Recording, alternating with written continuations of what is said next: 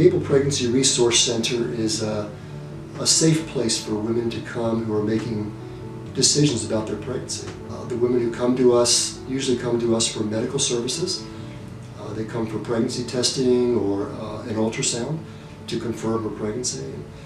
And, um, and also she's surrounded by staff that are very caring and compassionate uh, toward her situation. And so one of the most important things that we offer a woman who comes to us is a listening ear. Um, there's also the material resources that we provide for a woman who decides to continue her pregnancy or for uh, women who have come to us because maybe uh, material resources are things that are hard to come by. And, and um, we just welcome any woman that uh, is in any one of those situations to come and check us out and feel the love that our staff um, is waiting to share with her.